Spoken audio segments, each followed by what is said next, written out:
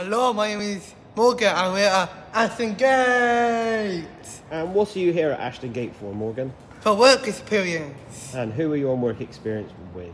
Bristol Bears. And tell me, what have you been doing on work experience today? Um, today we're doing um, different activities to help young people how to play the game. And what games have they been playing? Uh, dodgeball. And how was your first work experience? Um, it's been great.